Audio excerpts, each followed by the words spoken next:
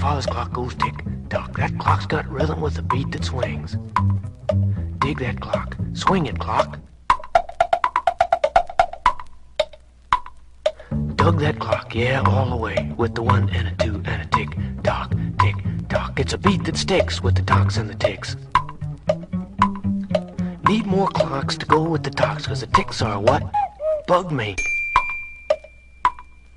Went to the store where they sell the clocks with the ticks and the tocks and the rhythm that rocks. Here's what I bought. Tick, tock, a wind-up clock, a wristwatch clock, a stopwatch clock, and a alarm clock.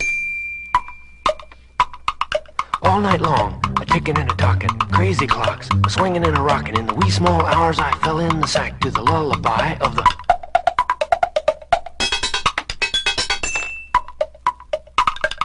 All night long, cozily sleeping, never suspecting of the end that was coming, only listening to the syncopated movements of the calculated clickings of the clocks on the shelf.